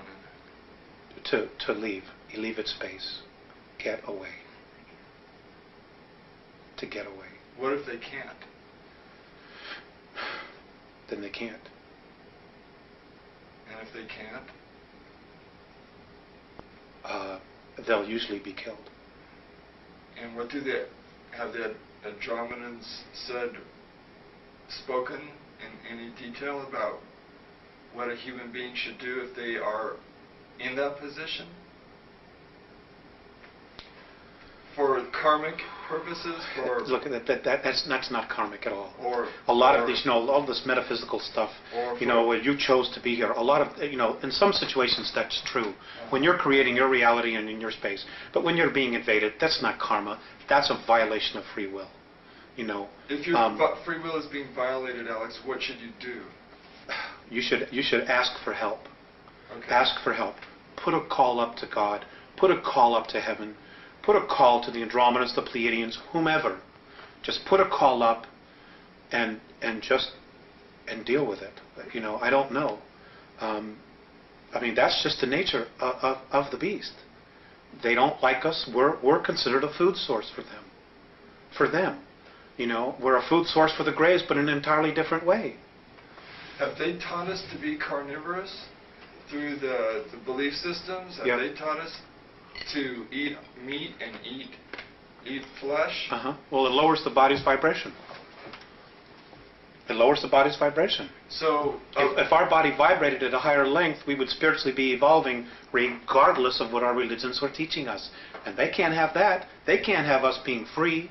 so, They can't us not being in control because then we're responsible for ourselves. so as we move away from eating meat and more towards vegetarianism, um, we we begin to raise our vibrational level and be and and break this cycle. It helps. Not everybody has to stop eating meat. It's not an absolute requirement. It certainly helps. But some people's belief systems will be that they just need a piece of meat. And for whatever their reasons are, that's fine. If you want to eat meat, that's fine. But you know what? Feed your mind. Feed your mind with, with, with spirit, with questions about existence, about what it is we're doing here, why we're here, what the hell is really going on.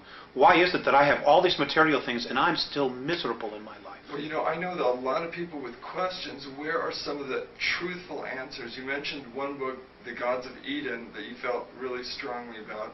What, what other sources are there that you feel that we have access to, aside from our inner selves, which is actually the best place to probably begin looking, but are there, are there other starting points that people can use that you know of? I mentioned Gods of Eden. Uh, George Andrews' books, um, ETs Among Us. There's a lot of information in there that not only deals with the ETs, but also the world political government, which right now is very dangerous for humanity because it's part of the Great Plan. It's part of the uh, of their regressive alien plan to, to keep us in jail. Okay, do not pass go, but keep us in jail. Um, oh God, suddenly I draw a blank. Okay, just as Um, you think about it, interject it into right. the conversation. Okay. You mentioned throw the television out. Are television programs conditioning our youth into accepting these hostile beings, do you think? Or is that just human I- beings doing I- anything for a buck? I, you know, I don't necessarily know. I don't know, you know, but but I, the violence is desensitizing. You know, violence is just a way of life now. We've been taught that. We've been um, uh, programmed that violence is just a way of life. So when we see really violent acts, oh, that's too bad. Well, you know, honey, what's on Channel 7? Or what movie are we going to rent tonight? You know, uh, that's, that's what it's come to. And it's wrong. It's absolutely wrong. There is no reason that any, any of this has to occur at all. It really doesn't. And it's and it is and it, a lot of it is the responsibility of the people, because if the producers in Hollywood are going to make movies like this, and we're going to go and buy the tickets, well, they're going to be motivated for the buck to continue to make these kind of movies. Where if they spend twenty million dollars and nobody buys a ticket, they won't be making those kind of movies. So it comes back to people taking personal responsibility for what they think, what they want to believe, and what it is that they want to create. Do the Andromedans really feel that we'll be able to reach that window? Right now, it's undecided. And that's the scary part. They don't know. What would help push it forward? I don't know. I, I really don't know. Ask- Except for just, you know, start listening to, to people that are talking. Start really paying attention to what's going on. Um, you know, my grandfather used to have a saying, believe nothing that you hear and half of what you see. You know, uh, I wouldn't believe a thing that comes out of Washington, D.C. In fact, it's my own personal belief that this, this next election um, that's coming up next year in November, that every American should march on Washington, D.C. and should fire every single person that's there. They have run this country into the ground. They have totally sold us out to the, to the United Nations um, for a buck, you know, for the debt. And, you know, even the monetary system, it's just a belief system. We could change that tomorrow if we wanted to. I mean, we're so intelligent. We could create something different, you know, but we're believer. Oh, we've got to have this money. Do you know that we're the only race, the only race in our galaxy where people starve, that people are homeless? Um, I mean, it's just, it's such bull. It, it doesn't have to be like this. If you're alive and you're on a planet and other civilizations, even the draconian races, they take care of their own. They don't sell out each other like we do here. They don't throw somebody in the street because they don't have a, a paper, which is really what it is. You know, the only value on it is what we believe it is. They just don't have that. You know, eh, they don't let children starve. They don't feed grain to cattle that feed 20% of the population and let other, the other 25% that need the grain starve. They, it's unconscionable. They would never even think to do that. But we do it here. For bucks. For money. For power. That's part of that conditioning process that's been going on 5,700 years. That's part of it. But the responsibility is that there are people that know what's going on and they play the game anyway. They don't have the courage to say, look, folks, let's deal with the realities here. You know, we don't have a guy that's strong enough in, in office as president to stand up and say, you know what, ladies and gentlemen, we've really been sold out. That there are forces within our government, like what Kennedy tried to do, that just flat out want to destroy the United States because we're too good, because we have too much. Instead of raising the consciousness and, and, and the, and the life, um, everyday life, um, what's the word I'm looking for? A standard of living of the re- with of, instead of raising the standard of living that we have um, Globally. to globally, they would rather just destroy the United States, or destroy our, our, our, our standard of living so that we're comparable to everybody else. So now everywhere is a third world nation. And that's exactly what they're doing. And they're doing it for power, for greed. We're selling out our own, and it's just it's, something's got to be done.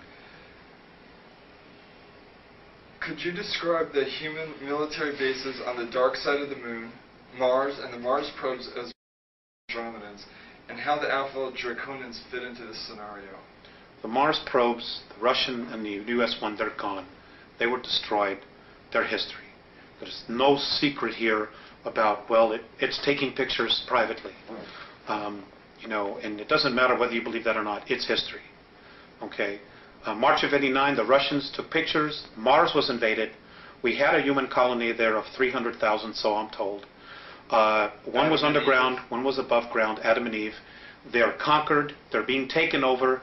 The human beings that are from Earth, that volunteered or were kidnapped to go there, are in, are in deep trouble. Many of them have already been eaten, some of them have already been killed.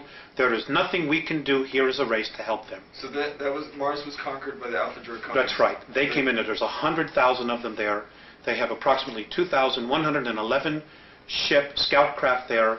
They're in an area underground that is 64 square miles, known on Mars as the area of Tempe Terra.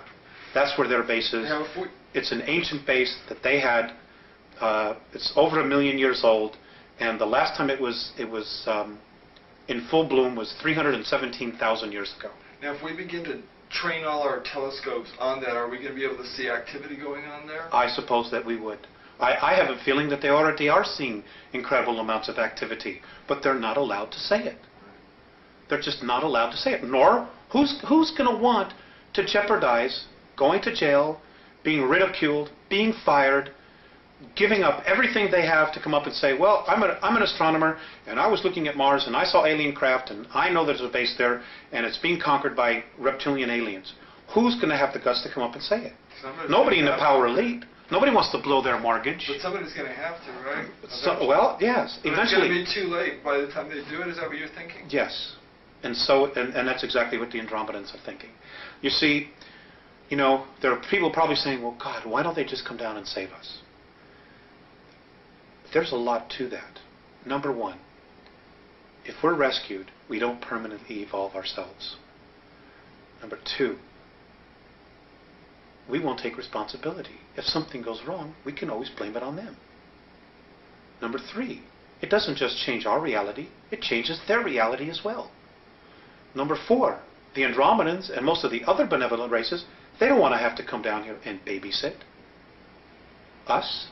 That's not their job. It's not their job at all. Now, in the way you told me. And number four, and, and I'm sorry, and, and number five, let me just add this.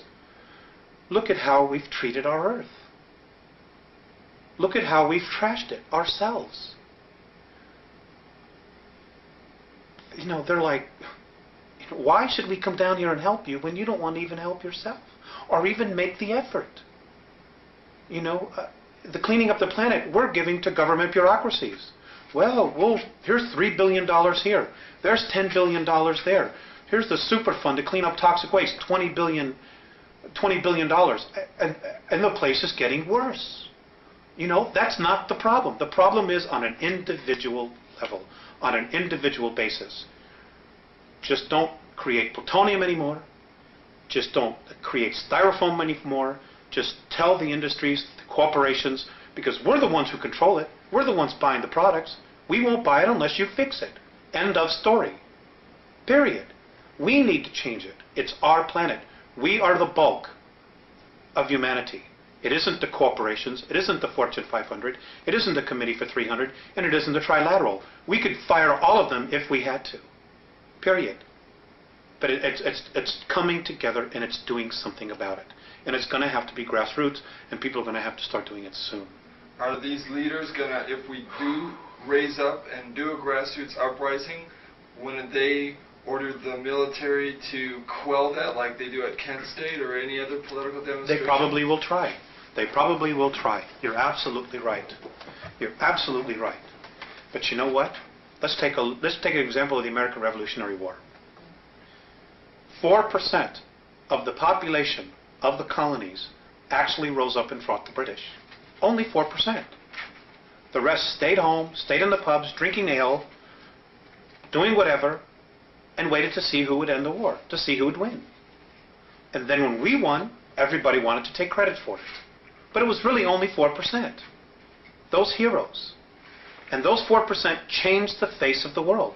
Well, 210, 12 years, whatever it is now, we're, we're right back at the same place where we're being called to do exactly the same thing. The paradox here, Alex, would be then that if we begin to war against ourselves, that's going to exactly fuel the whole fire that's going on. Oh, maybe for a brief time it would, until one side surrendered or saw the light. You know, do you know much about the New World Order? Do you know that they're building concentration camps to put millions of people in? Do you know that the United Nations has got 300,000 troops in the United States right now that they're going to use to confiscate weapons? And they're selling our active military troops, sending our active military troops out of the United States so they won't be here when this happens? Are you aware that that's going on? Do you know that just off the coast of, just south of the border in Veracruz, there are 300 tons of Soviet military equipment ready to invade? I mean, th- this is uh, that there are states actually wanting to Regions? succeed from the from the union. Yes, yes, there are seven different, there are nine different regions. The United States is being has already been designated to be split up. They're getting ready to to, dis, to, dis, totally dismantle the United States of America. And you know, the only real part of the United States of America, and I get so angry with this, is Washington, D.C., 68 square miles. That's really all that is the United States. We are in the Republic of Arizona. People in California are in the Republic of California. It is those separate republics that make up a United States. Washington, D.C. has totally manipulated everything. We don't, we're no longer the United States, what the forefathers founded. It isn't that at all. And, and you know, in 1992, um, the United, the Congress approved the UN Charter. Well, what people aren't aware of, because it wasn't printed in the press, in the newspapers, in our controlled media, is that because it's a treaty, it supersedes the Constitution of the United States. The UN Charter is now the law of the land, not the Constitution anymore. And in the UN Treaty, Articles 55 and number and 56, look it up, folks. Prove me wrong. State that the United States Congress no longer abides by the has to abide by the U.S. Constitution. As as of 1992, the United States of America ceases to exist. They just haven't told the people yet. And they're not going to tell them until after they have outlawed all weapons, after they have totally regulated the Second Amendment and taken everybody's firearms away so you can't fight, so you can't stand there and be free anymore. This is all part of the plan. This is, this is why the Andromedans are so strong about trying to make the awareness here in the United States, because not only does it control media, but there are some incredibly strong spiritual essences here, people here, you know, and we did this no less than 200 years ago. And many of the souls that were there then have incarnated again. And they're here. Jefferson is alive, their soul. Franklin's alive. Kennedy's back. Uh, Bobby Kennedy's back. Martin Luther King. Uh, Andrew Jackson. They're Lincoln. They're all back in physical form. They've all incarnated. They're all here in the United States. Um, because uh, right now, this is this this is where the, the battle is between light and dark. You've got the grays over us, you've got the reptilians underneath us, and between us, you've got humanity of the human. Uh, you've got the American people. I mean, all of the world, but you've got humanity sandwiched in the middle, wondering what the hell is going on here. Let's talk for another 10 more minutes. Okay. What is the ultimate agenda then of the Alpha Draconians in relation to Earth and to this part of the galaxy?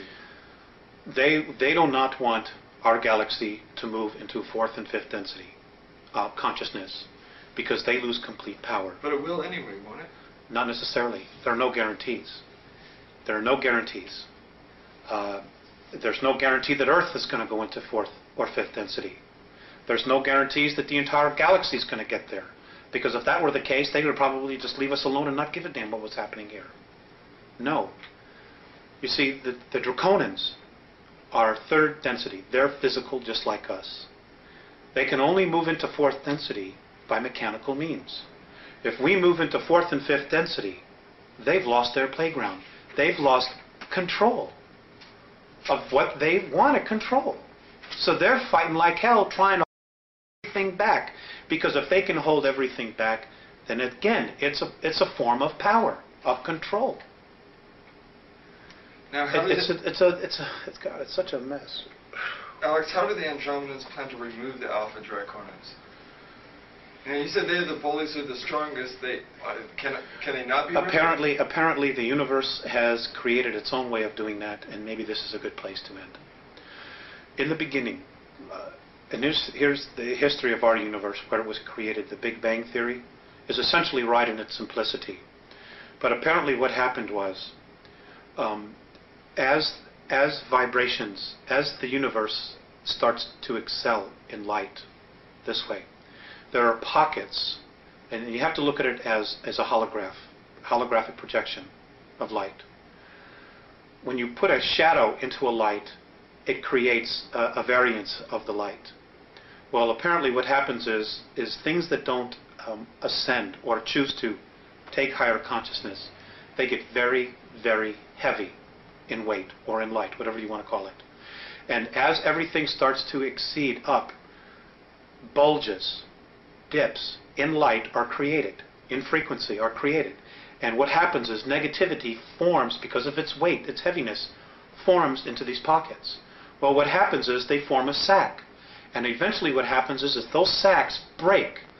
And because everything is spirit and nothing is ever wasted, they form, when they explode, they, they cast themselves out and they form another universe. They create a space for them to continue. Well, that's how our black holes are. That's how they were formed. Those black holes, if we could get through them, would be to another universe. They're portals. And it would just explode out. Well, that's how our universe was created. Well, because of this new energy that's being, um, that's being formed, pockets are, of resistance are now being formed all through, the, all through the universe. And in our galaxy, it's, it's right now between us and Sirius. So the way that the Andromedans plan to remove the Alpha Draconans would be is basically to try to contain them and and the en- their own energy themselves will suck them into a place of darkness so they can move out into another place. The Greys, the Orion groups, this is going to happen. It's happened before. Um, they know it's happening now, and this is why everybody feels this intense energy. Things are suddenly really starting to increase. In, in, it's simply because it is increasing. So at a Um, prior time, then they were sucked out of another universe into Alpha Draconis. Is that basically what essentially what happened? They were sucked from wherever they were into another universe. How somehow that universe or the beings in that universe, wherever they came from, said, we got to get rid of these guys. And they literally brought them here from their universe and dumped them and said, boom, this is where you are. Because they came here in physical form, which means they had to have been brought here. They didn't evolve like every all the other life forms here have evolved. They were brought here in full physical form, which means they were created someplace else and dumped here and said, you know, your history. Well, someplace else, then there's some very irresponsible people. Well, I, you know, maybe at some point in our eternal history we'll be able to address that issue. You know, but for right now we need to address our own issues. Okay, let's go to the World Club then to end this up. Um, and future events. According to the Andromedans, mankind has been manipulated for 5,724 years. Human agents must have participated in this throughout history. Who are some of the major players in this deception? You mentioned Hitler and the Giza intelligence. Uh, Most of the pharaohs, um, most of the ancient Egyptian gods. Um, I mean, there's so many. I, I, I couldn't honestly tell you. I mean, history is chock full of it. Uh, I think what people need to do is go back and look at what we call mythology and really start giving it a second look. Uh, uh, Richard Richard Thompson, in his book, although I've not read it, but I've heard others talk about where he he he delves into the history of things. Um, and, and it's also important to remember that just because it's history doesn't mean it's accurate history. You know, because it, it has been proven over and over and over again. Whoever wins the war rewrites history. They write it to their benefit, to glorify themselves. And it doesn't mean that that's, that's really what happened. And according to the Andromedans, our next major leaps in consciousness are going to come from science and archaeology. It isn't going to come from any spiritual leader or teachings. It's going to come from someone to say, you know what? this, here's the proof, this is true, this is reality, and I don't know what this stuff is, we can't prove that. You know, and it- and it's time we really start paying attention. Maybe at a future time, we can, we can, we can share more or do another interview or something. In a specific way, please describe in detail what the World Club is and who comprises it, and offer some specific e- examples of how they're controlling the rest of us. Um, Well, The banking circles, maybe? Yeah, it's all, it all evolves around money, the World Bank, International Monetary Fund. I mean, they've got the whole world in debt. You know, governments are giving away their, their mineral rights in perpetuity. The United States government is, in, is now in a position to declare uh, a national state of emergency, suspend the Constitution of the United States, and nationalize. And the reason they, they will have to nationalize is because our debt far exceeds any ability to pay it back. So who are the collectors? What countries are the collectors? It's not a country, it's a group of men. It's a group of human beings. It's a group of humans. Right. The aliens don't need money. They don't need an American Express card. So if, You know, if, if the it's, rest it's a man-made thing. If, if the rest of us simply say, we're not paying back the debt, that's it, we're starting over, you can forget your whole system, then we can erase that whole thing and start over. That's right. If we had a real president in office, and Kennedy was probably really the last one, what he should do is just get on TV and spell it all out. Surround himself with people that maybe he can trust to protect his life. He should get on television should, um, before Congress and all the houses, the House of Representatives, in front of everybody, and spend three hours and give everybody a real education. Number one, the Federal Reserve is private. Number two, our debt isn't real. Number three, our, we've gotten ourselves into this big mess because past presidents sold us out for comfort and for money. Um, and, and apologize. And then what he ought to tell, you know, and just say that I'm nationalizing all the banks under the United States Treasury. We're going back to a silver standard, just like the Constitution says, and give everybody an opportunity to, to get back on track here, you know, to maintain our standard of living and just start healing, you know. And then the next thing I would say is, or make sure if there were any POWs alive, that they came back home. And I would start healing all of that crap. The fact that, you know, that our POWs were sold out because of a debt, because of $3 billion, when we've wasted $3 billion or a promise to Vietnam, when we've wasted that kind of money on, on such stupid things as, as, as studying the, the sexual habits of a, of a tsetse fly or, or, or frogs mating, I I mean, it's just, it's unconscionable that we've allowed our government to do this. Alex, we got about five minutes left. I, I want, let's see if we can do some real brief answers to some of these last couple things, just real brief. Um, the United States, Britain, and the Soviet Union, according to your sources, have been building secret technologies and bases on Earth, the Moon, and Mars for some time. Where are these bases to be found on the Moon? Where are they? Yeah. They're on the dark side. And what, do you know what the locations are, what they're called? Um, yes. Um, one is under Jules Verne. God, I wish I had those notes in front of me. Um, let's come back to that. Okay. Let's Have come they back to told you anything about Area 51 or Dulce, New Mexico? Um, yeah, there there were a lot of stuff there. Uh, the actual underground base is not underneath uh, Archuleta Mesa. It's actually 20 miles to the northwest.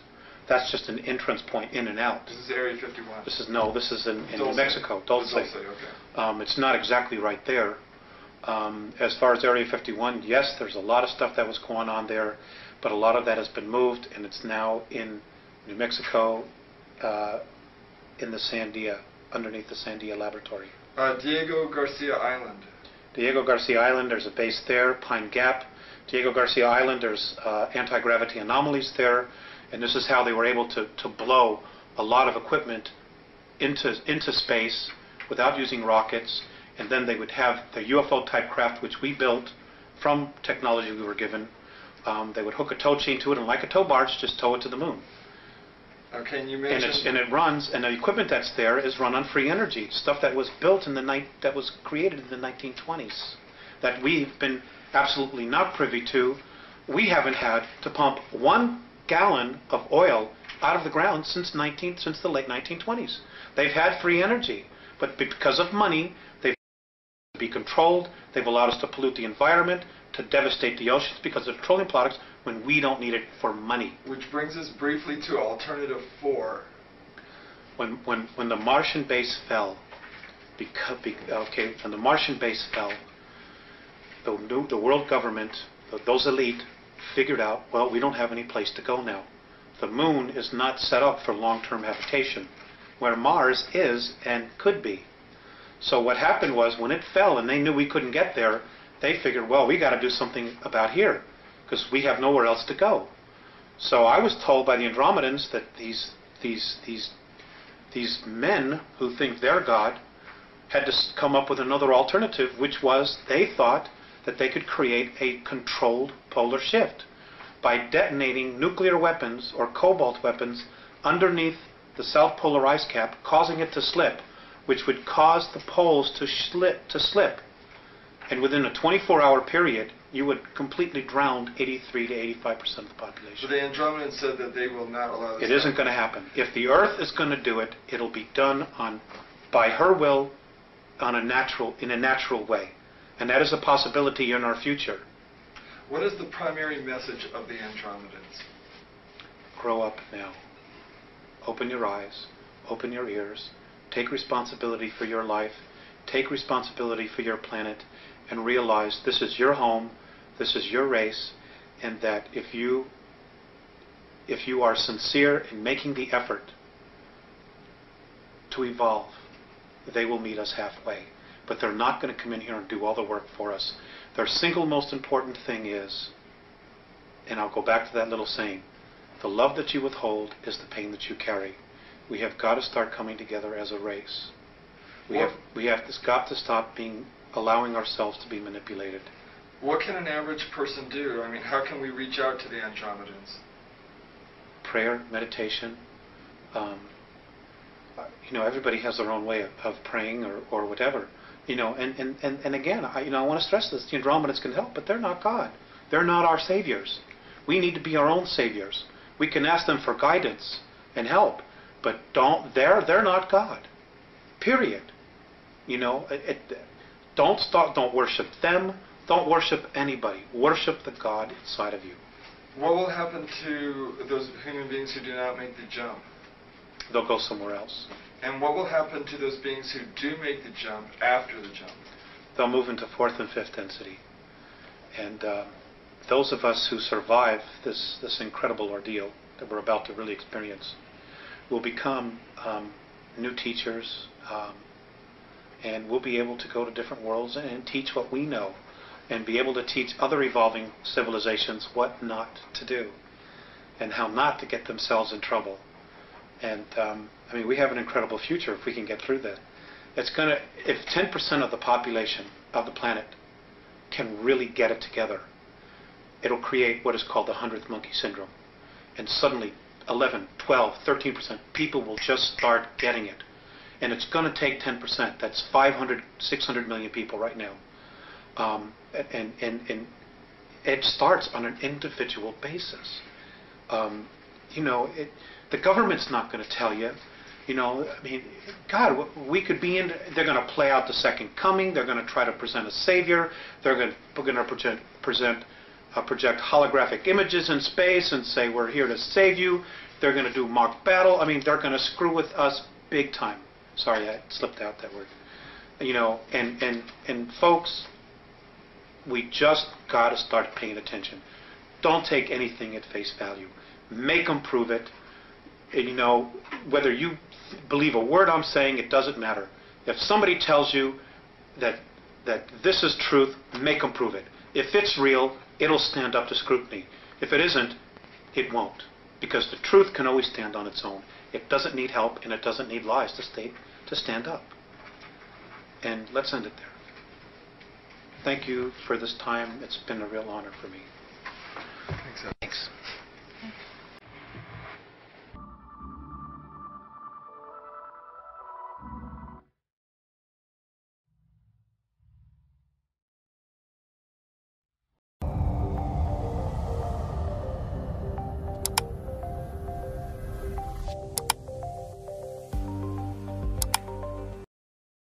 We thank you for watching this video and ask you to spread the news. Put this video on your social network or link to it so that you can be part of the anonymous movement. Together we are strong. Together we are anonymous.